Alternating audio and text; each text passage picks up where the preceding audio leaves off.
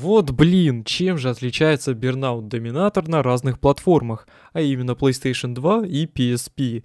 Несмотря на то, что это платформы совершенно с разным железом, и все-таки PSP это портативка, а PlayStation 2 стационарка, то они отличаются только графически.